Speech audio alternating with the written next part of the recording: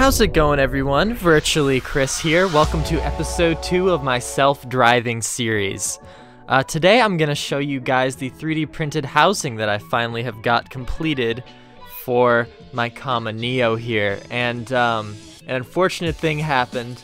Uh, it warped. I left it in the windshield too long. It actually warped completely off the car. So I definitely need to get a new housing with the right material, but that's something for the future. Uh, but yeah, we have everything officially mounted in there. We have the motherboard or circuit board. We have the fan, which is great. And uh, as you can see, the phone is in there. Here is the mount that goes into the car windshield. It essentially replaces the rear view mirror with this. And since I didn't have the correct cable, this is the one I bought from Walmart. It doesn't fit in the uh, caved out section where the cable is supposed to fit, but I'm perfectly happy with it sticking out like this. Makes it easy to take in and out uh, just by doing that. So if I don't want this in my car, I can unplug this and plug the phone into the wall outlet to charge, and then I can just plug this right back in when I want it in my car. Here we have the cable I made. It's looking pretty decent. Unfortunately, my white connector got desoldered somehow in the last few test drives I've been doing, so I need to solder this back on. Uh, but once I do that, we'll be ready to go back on the streets and test this thing out.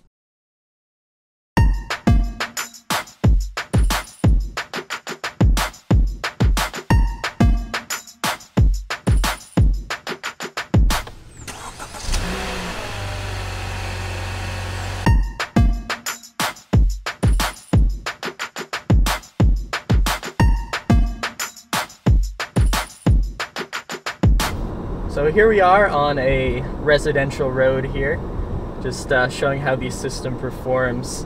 And uh, if you look at the software up here, it's been updated a little bit since last time.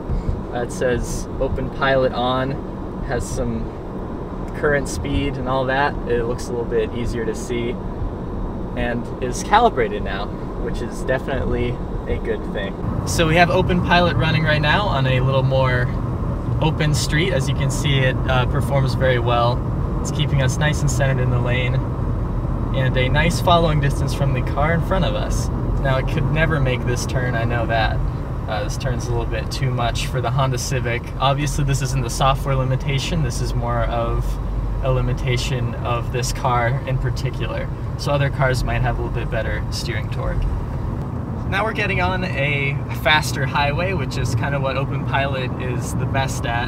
You know, the lanes are clearly marked, and uh, overall it just makes it easy. There's not any super harsh turns. So up here, here we are making a nice, smooth turn heading to Portland.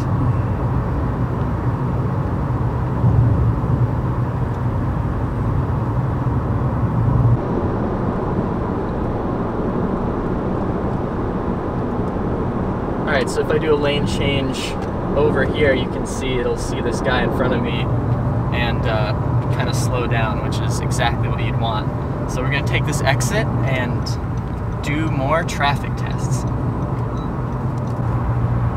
So once again, here we are on a straightaway. And the system handles this very well. Uh, we're to have someone merging in in front of us here. It'll show up on Open Pilot as someone on the radar. And uh, yeah, you're gonna see that with this person moving in. The radar locks onto him, and yeah, we're never gonna hit him because the radar's locked on. So now we're gonna take another exit, get some food. So we're gonna take the Scarborough exit. I'll enable Open Pilot now so we can we can see how it does. It can merge into lanes. Obviously, you got to be careful no one's gonna pop in from the side, but.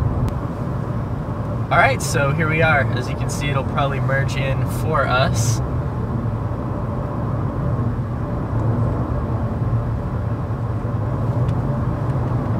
I'm gonna increase the speed a little bit. I mean, this is really the ideal situation right here. A nice straight road, a few curves here and there, but it's well marked. And uh, I mean, it really works great for that there's no question about it. This really works great uh, when you're on a highway for sure. But it also works when you're not on a highway, so that's something very important to know.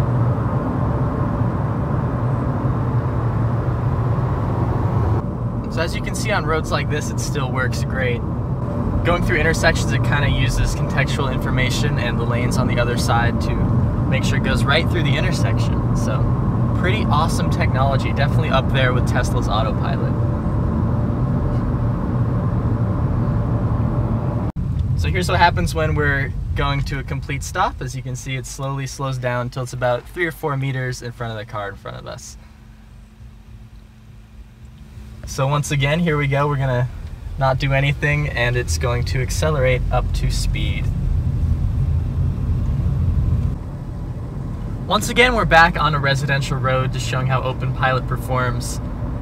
Uh, very, very respectable. Definitely on par with Autopilot. So you can see this person's actually going to a complete stop because of that person turning, and it handled it just fine. Uh, no worries there. Something Open Pilot still needs to get a little bit better on is how it handles hills, since the lane lines aren't exactly straight when you're going down hills, so I've been noticing a little bit of weaving when I'm going down a hill, but it's not really a big deal as long as you uh, pay attention. This is a road that the existing Honda sensing system couldn't even come close to doing since it's under 45 miles per hour. And uh, Open Pilot works down to 12 miles an hour and all the way to zero with the brake and acceleration, but the steering ends at 12. But that's just a limitation of this particular car. So these are about the maximum turns that this software can take without hitting something. Uh, so it, it, it, flashes up the take control um, thing up on the open pilot system. So this is really the maximum turning distance it can do, which is actually pretty respectable. I wish it was a little bit more, but that's all things that can be changed if there's a different car that allows a little bit more control over the steering. So just like that, we're back home, we got food, and uh, yeah, barely had to drive the car at all. So definitely an awesome technology. I hope you guys enjoyed episode 2 of my self-driving series. Special thanks to Comma AI for featuring my previous episode on the homepage of their website. That is so awesome.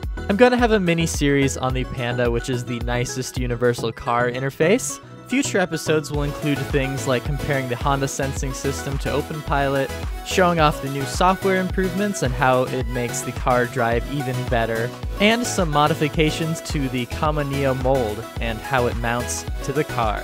So stay tuned for future episodes, and I'll see you all in the next one. Bye!